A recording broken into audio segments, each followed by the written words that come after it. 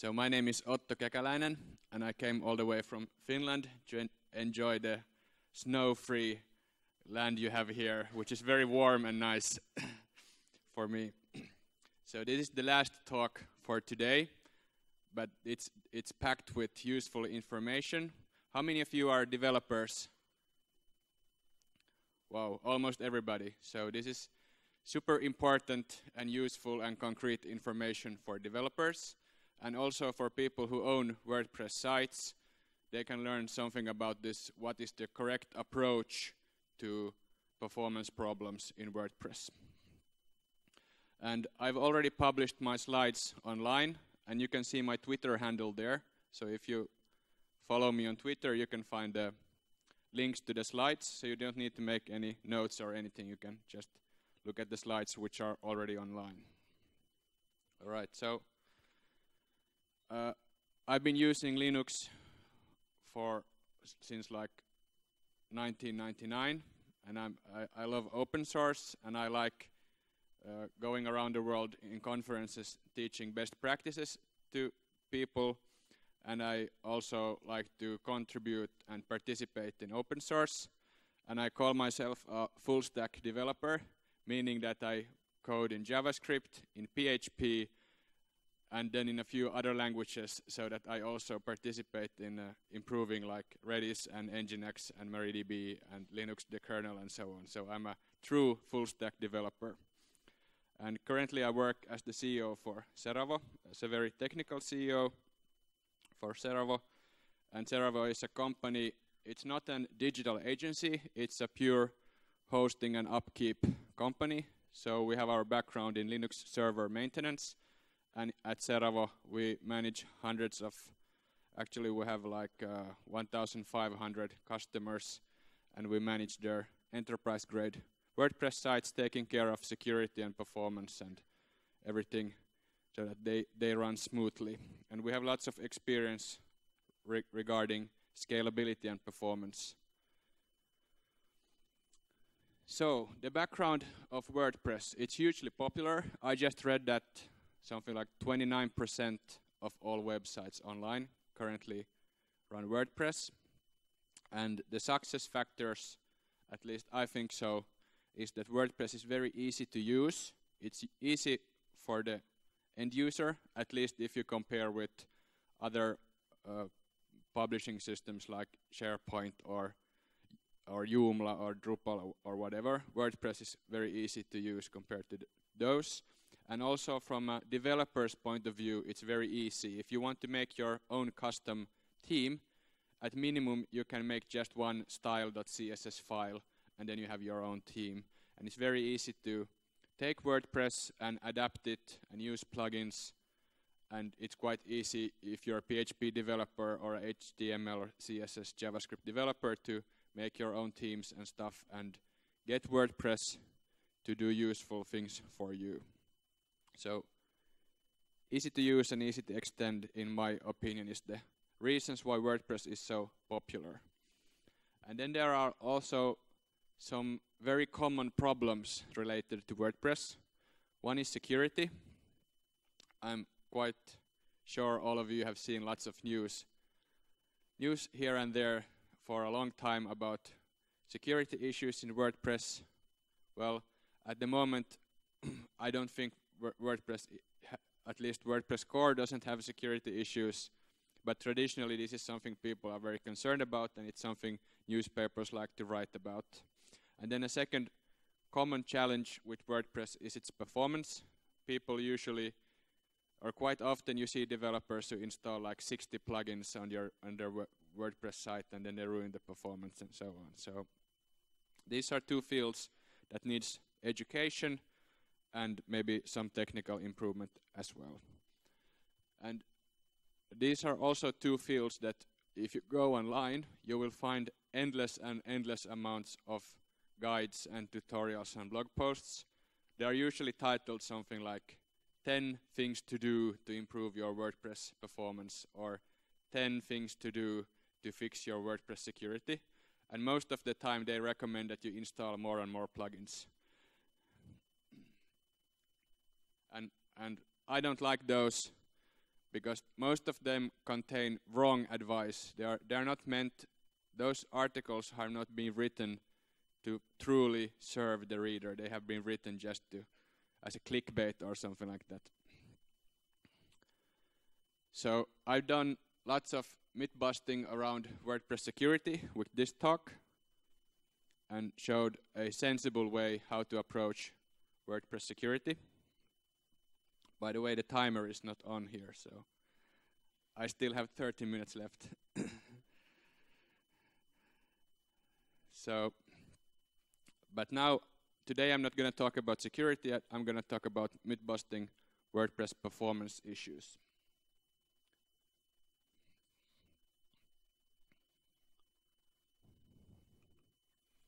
All right. So instead of just saying recommending 10 plugins to install and then your WordPress performance is solved, I'm going to explain what is my approach to WordPress performance. And the most important thing is that you need to be able to measure the performance. You can't just randomly try out, read some blog post that recommends you to do 10 things, and then you do those 10 things, and then you expect that you have solved a problem. You can't just randomly do that. If you're very lucky, it might solve your problem, but usually you're not. So you shouldn't follow advice like that. Instead, you should have a systematic approach that first you need to figure out how to measure the speed of your site, then you need to figure out something to improve, and then you need to measure again to validate that you actually improve the performance, that you actually made a, a change that matters. And then you need to do this over and over again. Rinse and repeat.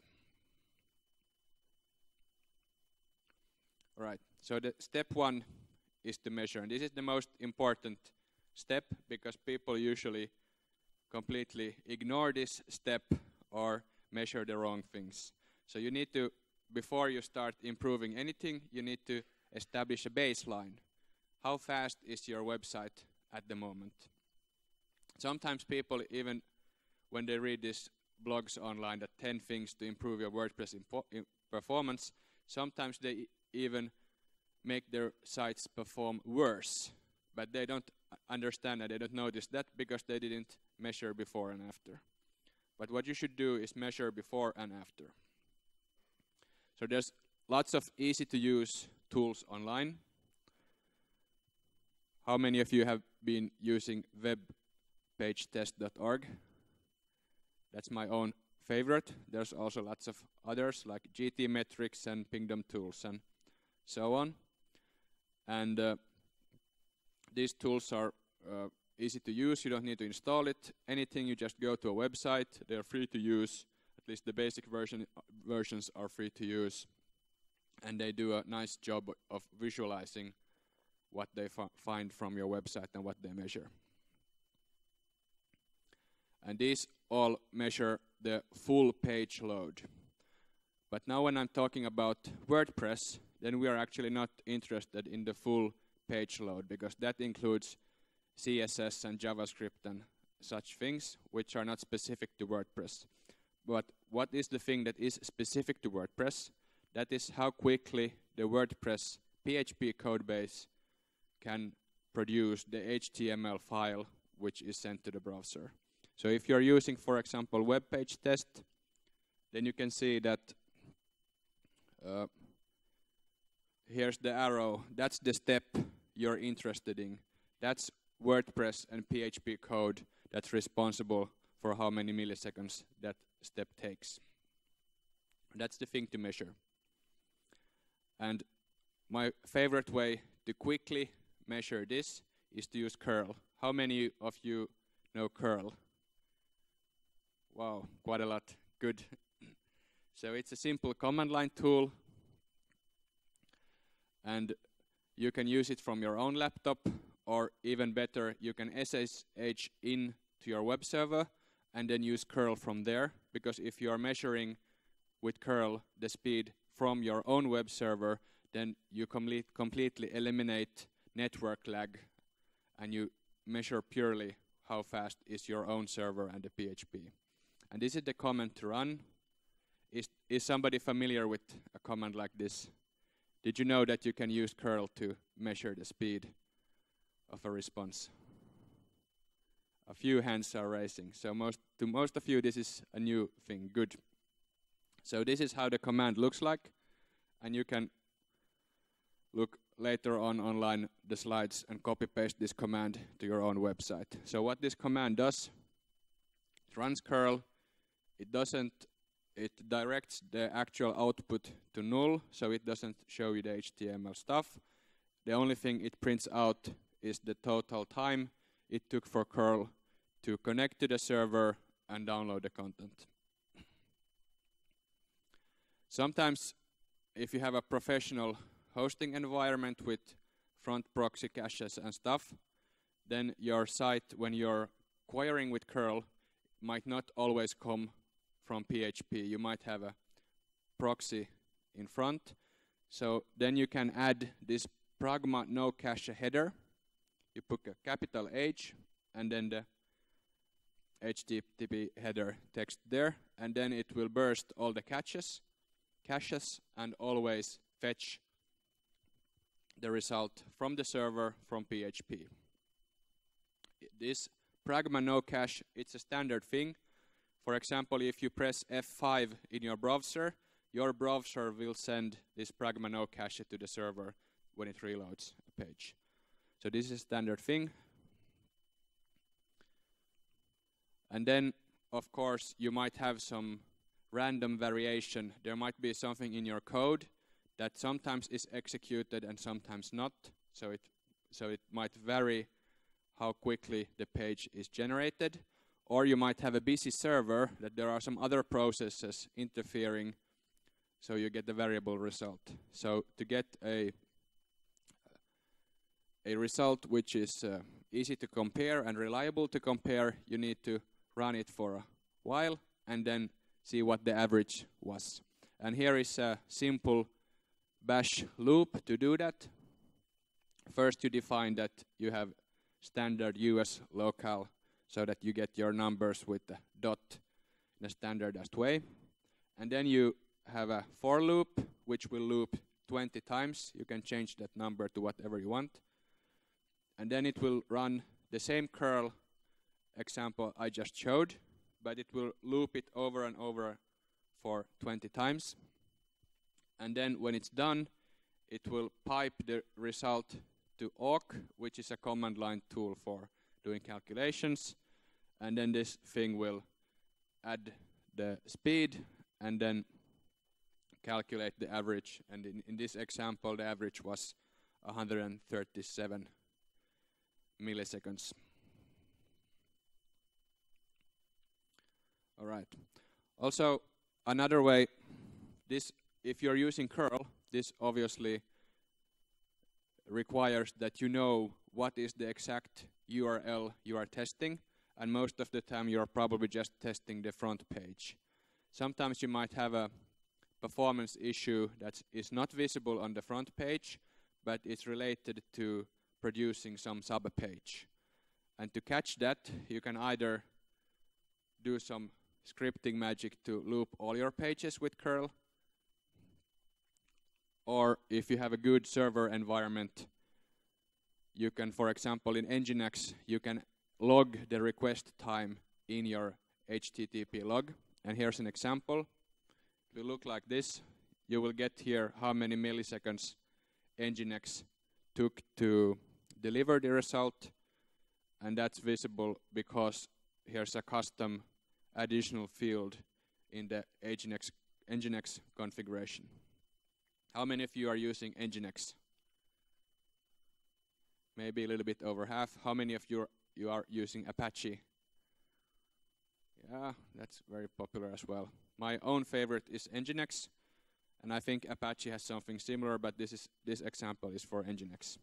So this way you can log real actual uh, usage data and how how fast your different uh, pages were delivered to visitors. And then if you have a log like this, you can then further analyze it with something. For example, my own favorite is GoAccess. And in GoAccess, if you analyze an access log, it will print out these columns, which are zoomed in here.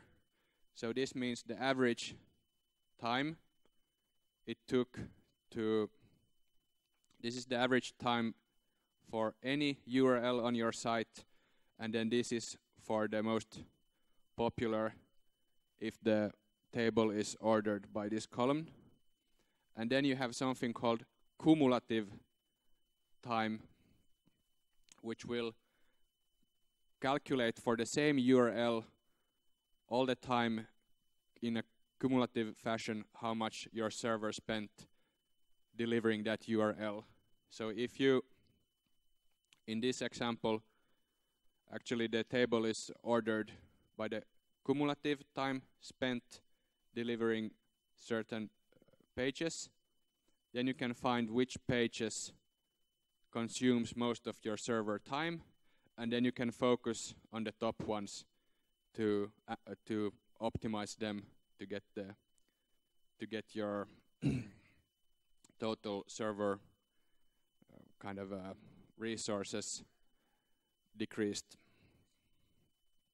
How many of you have heard about GoAccess before? Yeah, a few people. So this is pretty neat. All right, so here was some ways to measure how fast your PHP is. Then the next step is to optimize. Here's a quick and dirty way to do it. How many of you use VP CLI? I think everybody should raise their hand next year because it's great. you can do lots of things with it very quickly and you can script it and so on. And here's an example of scripting VP CLI. So sometimes the project doesn't have a budget to uh, fix, like improve PHP code. You just want to have a quick and dirty improvement in speed. And with this CLI loop, you can deactivate one plugin at a time and then measure how fast the site is. So here it will list all the plugins that are active for your site. Then it will echo the name of the plugin. Then it will deactivate it. And then for five times it will run curl. And then it will activate it again. And then continue, which means that it will take the next plugin and do the same thing. So the output will look like this. Here we have a, this is the script running. So here we have a one plugin that got deactivated and then curl is run five times and you can see that it takes about 500 milliseconds to load the page. Then that plugin is activated back again and then it goes to the next plugin here Advanced Custom Fields Pro as an example. And then when that is deactivated, it takes 60 milliseconds to load the page. And then this plugin is activated again. And then the next plugin is deactivated. And then it's back to about 500 milliseconds. So this reveals that this one single plugin, deactivating it will significantly decrease the uh, loading time of this page. So this is a quick and dirty way to find out which is your slowest plugin. Then if you want to do some more in-depth, you can use the debug bar. So in wordpress.org, there's a whole bunch of plugins which contain this debug bar in their name, and you can install them. And after installing them, you will get this debug bar, and then a varying amount of plugins to this plugin different pages which will then tell different things about your site when it has been loading. I I think that for example the uh, plugin called Query Monitor is quite popular and widely used. However, that has the problem that it tells you what function or what part of the site is slow, but it doesn't, it quite seldom translates to something actionable, something that you, you could actually fix. So the best way and the most precise way to find bottlenecks in, in PHP code and in WordPress is to use Xdebug. How many of you have heard about Xdebug before? Wow, almost everybody. Well, I hope you will learn something new anyway. so Xdebug, it's a tool which will instrument PHP in a way that every time a PHP function is called, it will log which function was called and how long it took to execute. And, and visually, this means that when you are uh, Uh, starting WordPress, when you are requesting a WordPress page, it will first load index.php, and inside index.php, it will run lots of functions, and each one of those functions will then run lots of other functions, and you will get this execution graph. And you will know what, what function called what function, and how many times, and how long did it take. And to install Xdebug, here's the example how to do it if your server is running Debian or Ubuntu. And one note is that this makes your site very, very slow because it instruments every single PHP function. So don't do this in production. This is something you should only do in a staging or development environment. So first you install this PHP plugin then you need to configure its config file and enable it and then put this make sure you have these configurations in place. This is the directory where your profiling files are going to. This is the file name pattern they use. And then here is this enable trigger which is very important and I will show you soon what the trigger is. And once you have updated the configuration, then you just restart PHP and then it's active. And then to profile a page, all you need to do is to append this get parameter to the request. This is the trigger. If the request has this get parameter, then Xdebug will activate and generate a profiling file. So then you will, when you run this, you will notice that the page is much slower than usually. And you will notice that in this location, every request will generate a log file. And this log file is a text file. You could technically read it yourself, but that's very inconvenient. So what you want to do is install some kind of tool that uh, makes a graphical representation of the log. And my favorite is WebGrind because you can install that on the server right where you are doing the profiling and you don't need to do any anything special and it's very easy to install. Here are the commands. You just clone the git repository. It's PHP and then you install some libraries for it so it can do some graphs. And if you are using the WordPress core development environment Varying Vagrant Vagrants, then Xdebug is already pre-installed there and also if you're using some other vagrants, for example our vagrant, then Xdebug is easy to enable there. Alright, so after you've set up Xdebug, then you start profiling and this is how WebGrind looks like when you open a profile file. So here is the selection. You can select which profiling file you want to analyze. And uh, here you can choose if you want to show milliseconds or percentage. And then you will get here, in this example, I've chosen milliseconds, and then these columns will show how many milliseconds these things took. And then this percentage here will uh, filter out some of, of the PHP functions so that there's less results of the the more minor PHP functions are not always that relevant for profiling. But here, here I have set it to 98%. And this table, it has a few columns. This color here is not an indication of speed in any way. It's just an indication of what kind of function type it is. Here is the name of the function. And then here is a sub table of all the functions that this function calls. And then you have the invocation count is how many times that function was triggered and how long PHP spent inside that function. And then total inclusive cost means how much time PHP spent inside that function and all that of its children. So this is how you then track around.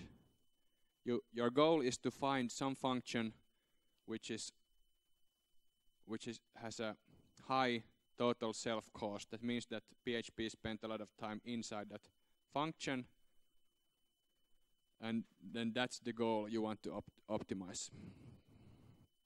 Usually if you have a clean WordPress install, you will see lots of these uh, translation related functions. All right. And then in WebGrind, there is this search field you can use.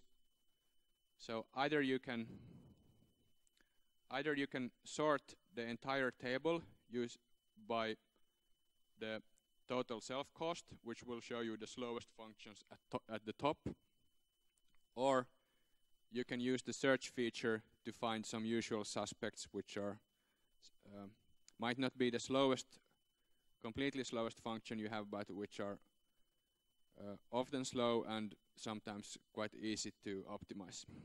Some of the typical words you can put there is like load and open and curl and query. Then you will get lots of results related to file opening and especially if your code is opening with load or open on curl are opening some files from an external server this will show it up.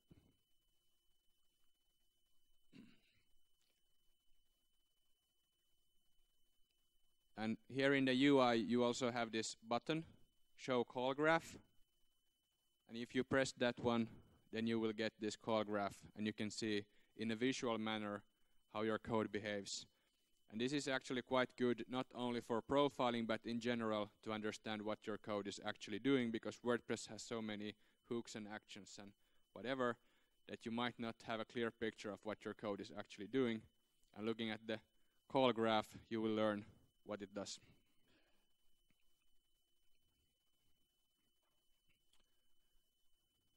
So these these colors here represent the time, how much time is spent in each function, and then the uh, the color and the width of this line represents how many time the the call was made.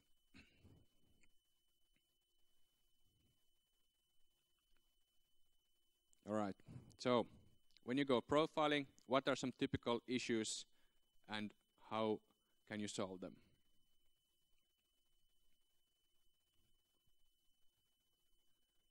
So here's a table, a profiling result, which is sorted by the total self cost. And this is, I don't know if this is percentage or or milliseconds. I think this is probably in percentage because the numbers are so low. So here you can see that uh, the MySQL query function included the highest total self cost. But that is actually quite a logical thing because the database is most often the bottleneck in the application. So you should, when you're looking at your code, the database function should be at the top. That's kind of normal behavior. And then if you look at the other functions that are up here, you will see the slowest ones, but these are not perhaps that obvious what to optimize. But here I've looked at the VPDB function get results of who is calling them. And I can see here what what this function is calling and then who has been calling this function. And from here I find this function called avada upgrade clear Twitter widget transients. So it turns out here's actually a very convenient button. When you click on this icon, a new window will pop up and it will show you the exact line in the code where this thing where this function exists. So you can look what it's doing. And when I did this I noticed this function here and I went looking at the code and it is what it was about this Avada team that did an upgrade check on every page load and that was completely unnecessary so I just commented it away and then the page was uh, loading much faster. Then here's another typical thing. So WordPress to start with does a lot of it has its native get text implementation which is pretty slow so it does a lot of so quite often in the profiling you see uh, translation related functions high up and then if you install this very popular translation plugin WPML it also usually ends up quite high. And it does a lot of database queries and and stuff which the the WordPress own translation functions don't do. So this uh, usually creates a lot of so this usually leads to a slowdown of the site and if this is an issue then I recommend Polylang, which is another translation plugin, which is, it doesn't have all the features as WPML, but it is significantly faster. All right. Then here's an example of the curl exec that was on the top of this profiling. You probably don't see this text that well, but here it reads PHP curl exec and then you can trace down who is calling it.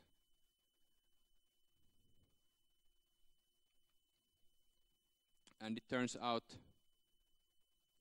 when you so all of these are links which you can click. So if you see here a function that is slow, then you can just click what was the functions it was called from and then boil down, drill down to the function that initiated it and then you will find what was the problem. And in this case the problem was this this line in the code which was slow in a plugin called Leadsius and the way to fix this was to use WP transients so you couldn't just disable this a API call because it's relevant for the daily function of this plugin. So what I did, I wrapped it in a WordPress transient. How many of you know what a WordPress transient is? This is something every WordPress developer should learn. It's super easy. So this is this uh, caching system, built-in caching system in WordPress.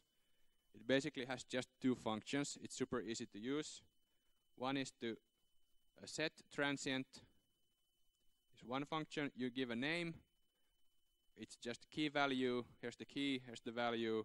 And then what is the expiry time for that data. And then it has a second function which is get and then just get by the key name. So it get transient and set transient. And this is how you use it, that instead of always calling something that is slow and might not always even update so you can so it's a good target for caching. You just wrap this around so you just first check do you have it cached already? If you have it then use that value instead. And if the cache is empty then only then you make the actual uh, call to an external server and then you save that result. And the next time this page is called if it's within one hour it will find the cached version.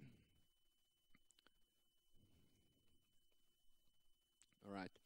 And sometimes you have a piece of code that doesn't run on every single uh, request. So what you can do in that case is that you can run your your xdebug profiling in a for loop for In this example, I've done it for a hundred times. And then you print out the time, how long it takes. And then you will see that most of the time it's it's uh, it uh, stays at the baseline, but every now and then it is slower for some random reason. And then if you go looking at the files, then you will find some files which are significantly, some log logs which are significantly bigger than the other ones. These are the ones where the code did something special, which was unusual.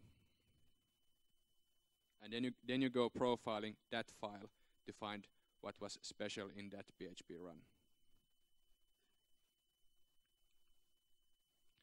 All right, so then you can remove some code or limit some code or use transient or whatever when you've pinpointed what is the exact function that is causing the slowness then you can try to fix it some way. You do some change. And when you've done then you validate that did this actually make the site faster or not? And then you use the same same measuring things I already show you and then you do this over and over again. It's usually not done in one time, you probably do the measuring and validating like 10 or 20 times before you're done optimizing a site. All right. Do you have any questions at this point?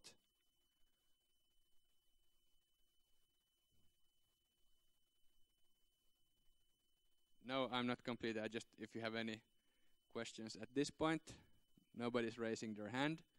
All right. So Here's a little bit. All right.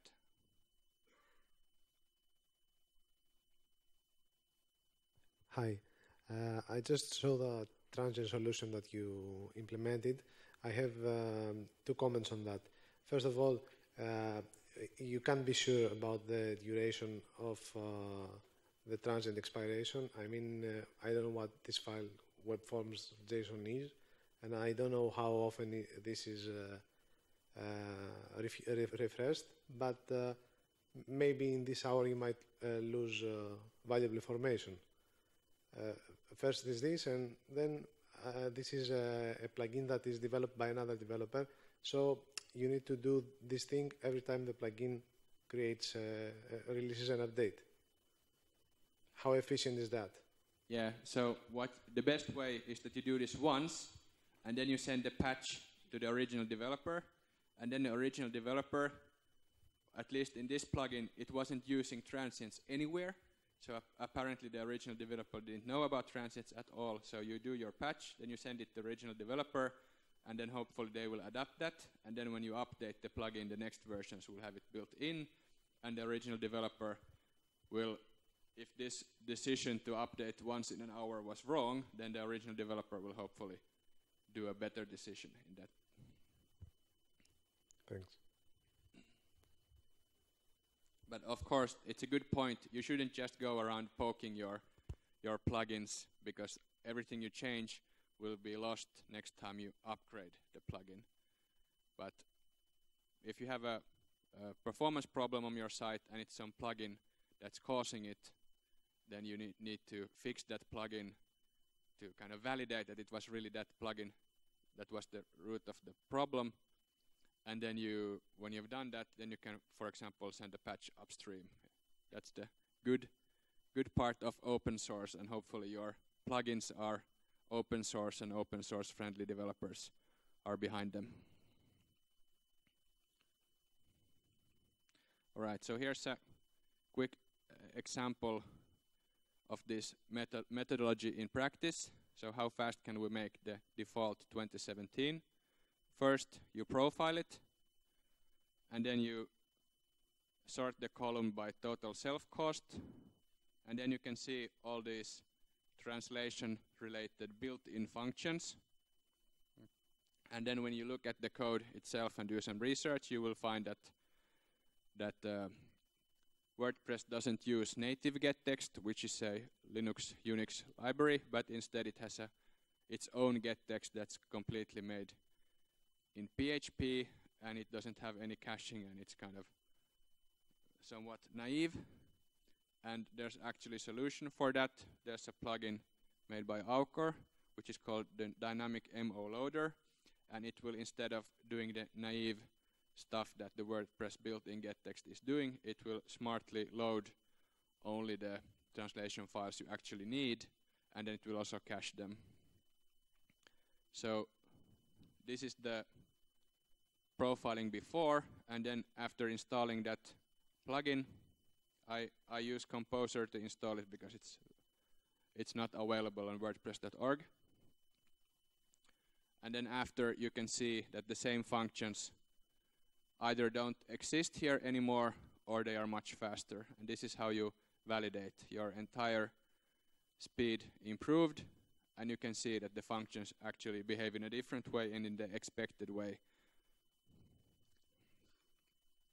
All right, and you can find the code in this GitHub account of a default 2017 installation, which is slightly optimized. All right, so a few things to remember. So you don't need to, when you are uh, profiling or when you are optimizing your page, now you know with curl how to measure the speed, of how to measure the response time, but you might not know which page is the slowest one, so that the Nginx access logs with the response time is a very good way to find. You don't need to measure anything, you just read the logs and see which URLs are slow. And then remember never to run Xdebug in production. If you have it active, it will make PHP much slower. And then there are some other projects like XHProf and uProfiler, which you can run in production because they are not active all the time. They are based on some kind of sampling that are, they do random sampling of certain PHP requests, and then all of the most of the production PHP requests stay fast. But these projects are somewhat defunct at the moment, and let's see what's happening in this space. I think there are some companies picking up the development of these and making new versions, but it, it's not. Uh, there's lots of turmoil in that area at the moment. Also, a few built-in PHP functions that are good to know are are these. With this function, you can get at any, you can insert this command at any point in your code and then see how much memory PHP is using at that point. So you can use this to debug what's happening in your code. And you can also spray this around your code to print out the time in your log. What is the micro time precision of how much the time was at that point in code. So then you can also use that to see what on wh what line you are going and how much time it took to get there. All right. So that was it. Thanks for listening.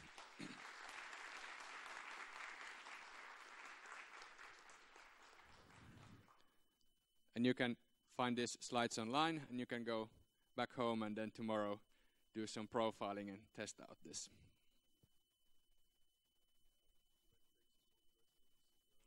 All right. Do you have any more questions? Yeah?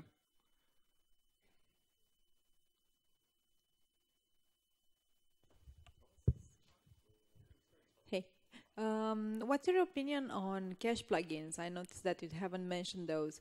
Should we use them or just optimize the WordPress uh, installation to use as, let's say, uh, less plugins uh, than you used to? Yeah, so uh, in our servers, we don't have any caching plugins at all because when you add more plugins to your WordPress installation, it will slow down because you are running more and more PHP code. So the sensible thing is to do is to do have some kind of proxy caching, but to do that outside of WordPress. And if, for example, if you're running Nginx, then Nginx has great built-in caching stuff to use. So I would recommend stay out of caching plugins and use use something that's working on, on C-level code instead, which is like an order of a magnitude faster than anything that happens in PHP. Try to, if, so if you're doing something that happens in PHP or close to WordPress or sometimes in PHP, then you've already lost the performance game in that sense. But uh, one thing in WordPress which you should install is the object cache PHP drop-in. So I showed this WP transients in my talk. By default, WordPress saves that in the database, but if you install the object cache drop-in, then you can save it in, for example, Redis, which is in memory only. It's a key value storage and very fast. So that's something I would use. But I would not use anything like VC, uh, W3 Total Cache or similar plugins. They are, they are just too slow. Um, when fixing optimization problems, have you noticed common patterns? Uh, any common patterns arising? Yeah, and then cache plugins. yeah, well, in general, I would say that that currently the good thing with WordPress it's it's so easy to do a plugin and it's so easy to get something useful out of it. But then it's also sometimes too easy to do something with WordPress and then people might just throw up some throw together some code and start using it and then somebody some third party might think that this is actually a tested and well done code and so on. And and there's uh, for example what I would like to see for the entire ecosystem to evolve is that there should be some kind of quality assurance in wordpress.org plugin repository so currently when you submit a new plugin to wordpress.org there's a thank you there's a there's a fan human there. who makes a makes a review, but when you do subsequent uploads, there's no review, there's no automatic testing, there's no quality assurance, there's no performance testing, there's no static code analysis or anything. And if you want to know how I would how I would do this, then you can come to WordCamp Jyväskylä in Finland in February and enjoy the snow there and listen to my talk about automatic quality assurance for WordPress plugins. Uh, can you not give us some hints, quick, quick hints? Well, for example, Travis CI, it's a continuous integration platform that's free to use for open source plugins. And then you can look, for example, in my presentation, I had uh, links to my 2017 optimization. There's a whole WordPress project in that Git repository, and there's also Travis CI files that do automatic testing for every commit. But I, I haven't built automatic performance testing for WordPress uh, plugins and commits yet.